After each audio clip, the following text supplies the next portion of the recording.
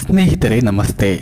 ಕನ್ನಡ ಚಿತ್ರರಂಗದ ಎಲ್ಲ ಇತ್ತೀಚಿನ ಮಾಹಿತಿಗಳಿಗಾಗಿ ನಮ್ಮ ಚಾನಲನ್ನು ಸಬ್ಸ್ಕ್ರೈಬ್ ಮಾಡಿ, ನೋಟಿಫಿಕೇಷನ್ಗಳಿಗಾಗಿ ಬೆಲ್ ಬಟನನ್ನು ಒತ್ತಿ ಹಾಗೂ ಈ ವಿಡಿಯೋಗಳನ್ನು ತಮ್ಮ ಪ್ರೀತಿಪಾತ್ರರೊಂದಿಗೆ ಶೇರ್ ಮಾಡಿ.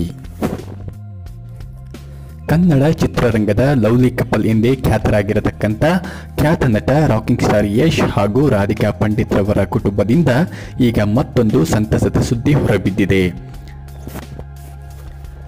ಇತ್ತೀಚೆಗಷ್ಟೇ ಮಾಧ್ಯಮಗಳಲ್ಲಿ ರಾಧಿಕಾ ಪಂಡಿತ್ ಹಾಗೂ ಯಶ್ ದಂಪತಿಗಳು ತಮಗಾಗಲಿರುವ ಎರಡನೆಯ ಮಗುವಿನ ಬಗ್ಗೆ ಹಂಚಿಕೊಂಡಿದ್ದರು. ಈಗಾಗಲೇ ಐರಾ ಎನ್ನತಕ್ಕಂಥ ಮುದ್ದಾದ ಮಗುವನ್ನು ಹೊಂದಿರುವಂತಹ ರಾಧಿಕಾ ಪಂಡಿತ್ ಹಾಗೂ ಯಶ್ ದಂಪತಿಗಳು ಇಂದು ಎರಡನೇ ಮಗುವಿಗೆ ಜನ್ಮ ನೀಡಿದ್ದಾರೆ.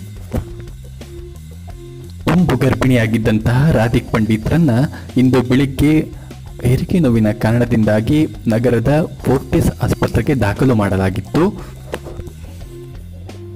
ದಾಖಲಾದ ಕೆಲ ಗಂಟೆಗಳಲ್ಲಿ ರಾಧಿಕಾ ಪಂಡಿತ್ ರವರು ಮುದ್ದಾದ ಗಂಡು ಮಗುವಿಗೆ ಜನ್ಮ ನೀಡಿದ್ದಾರೆಂದು ಆಸ್ಪತ್ರೆಯ ಮೂಲಗಳು ತಿಳಿಸಿವೆ.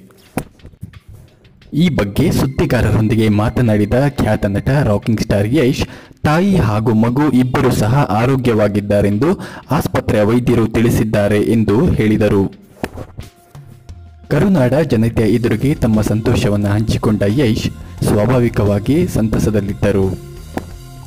ಕರುನಾಡ ಜನತೆಯ ಪರವಾಗಿ ಯಶ್ ಕುಟುಂಬಕ್ಕೆ ನಾವು ಶುಭಾಶಯಗಳನ್ನು ಕೋರುತ್ತೇವೆ. ಧನ್ಯವಾದಗಳು ಪ್ರೇಕ್ಷಕರೇ.